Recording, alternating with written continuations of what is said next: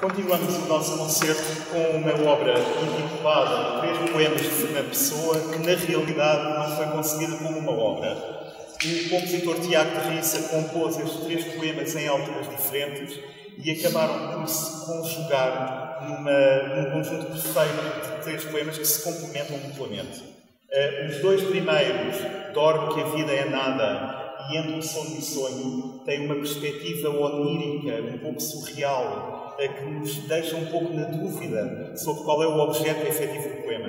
E quando chegamos ao terceiro poema, o muito conhecido Menino da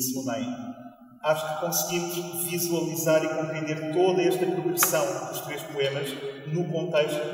do, da loucura da guerra, do horror do que se perde das vidas jovens que são perdidas eh, em todo o mundo, em toda a história, por uma coisa tão fútil.